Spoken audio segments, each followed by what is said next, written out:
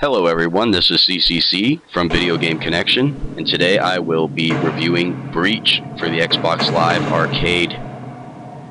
Breach is an online-only multiplayer game, war-based, very similar to the Call of Duty online component, or maybe in the arcade Battlefield 1943, or Blacklight Tango Down. Now the trial lets you play online, of course, because that's the only mode available. No campaign whatsoever. The game costs 1200 Microsoft points. That's $15 for those of you that don't know. And basically I selected a quick match and now I'm waiting for it to load.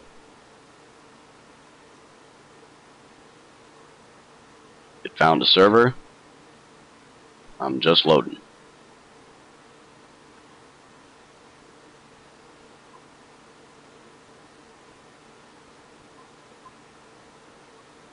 Still loading here.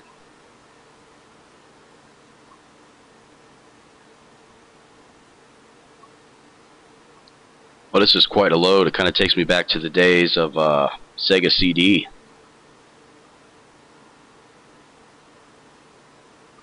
They really didn't put much effort into speeding up the load time in this, did they? Okay, here we go. First impressions.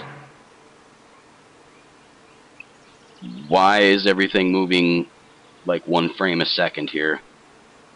It says I'm going to spawn in six seconds. Uh, this is really choppy. Really, really choppy. I can see people are getting killed and I can hear gunfire though. Here we go. I can pick a class. Uh, you can pick between two classes in the trial. And I think I'll stick with this.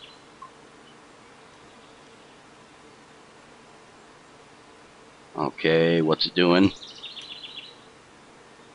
Just seems to be stuck here.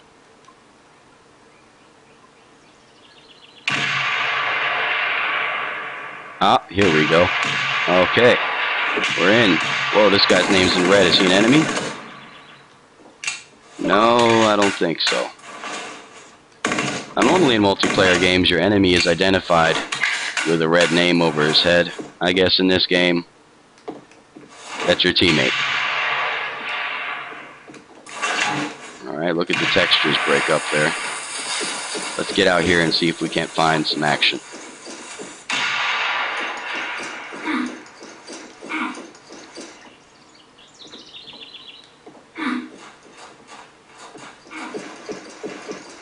Okay, just a lot of running around here. Kind of boring. Oh, that's my teammate again, isn't it? It sure is.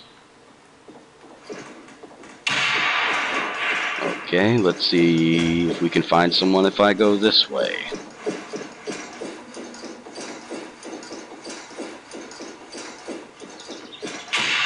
Ah! Well, no, that's just my teammate again. How about I just follow him so he doesn't pop up? Whoa, what's going on here? Okay, we apparently got some big time lag going on. Starting to think maybe I should make my own server here and see if the game runs right. We got a little gunplay here. Oh, I thought I was safe behind that. I guess not. That guy from way over there shot me down. Okay. Alright, so let's go. Whoa, what's that up in the sky? It's a piece of broken bridge.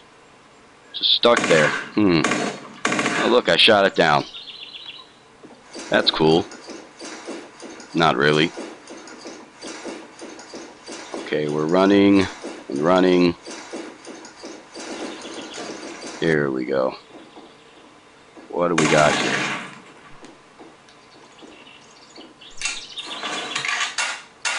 Gonna get this dude this time. Whoa. Alright, something tagged me. Hey, what are these guys doing? They're lagging. Let's see if they can die. Hmm. Wow. I died. And that dude's still lagging. Alright, so I gave up on that room and I made my own server here on a snow map. There are multiple maps to use in the trial. Here's a weapons cache. I'll pick up a rocket launcher. No biggie. I test it out to see if it actually has any kind of damage on the environment. And no. As far as the graphics in this game go, they're okay. Uh, they're not great. They're just barely good. Uh, the environments aren't really uh, damageable. There's no nothing really destructible. Now, if I shoot this lamp with my gun, with a couple bullets, eventually it would burst. But with a knife, for some reason, the glass is impervious. With games like Battlefield 1943 and Blacklight Tango Down already out in the marketplace the same price, this game's got some pretty stiff competition. Uh, I personally didn't care for Blacklight Tango Down, but Battlefield 1943 is awesome. And this game is directly competing with that. It seems the only way you're going to not have lag is if you host, which is kind of a bummer. Wow, look at that reload.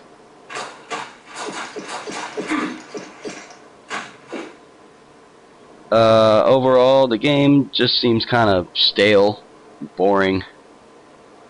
It's basically a Call of Duty wannabe. And if you were into that kind of thing, you probably already own a Call of Duty or two, or even Bad Company or Medal of Honor. I don't see how this could really appeal to anybody.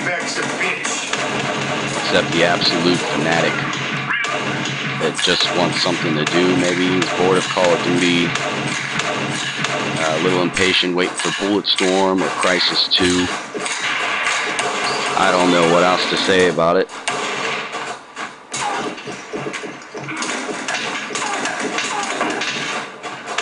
Overall, I'm going to have to give this game a 4 out of 10.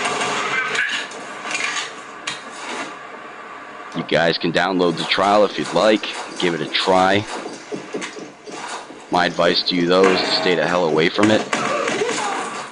And the most involvement you should have with this game is going to the game marketplace. Uh, going down to voting for this thing and giving it one star and doing us all a big favor. Breach is a huge disappointment. What I've seen of it, it had huge potential. And in the end, when it came out, it ended up not delivering.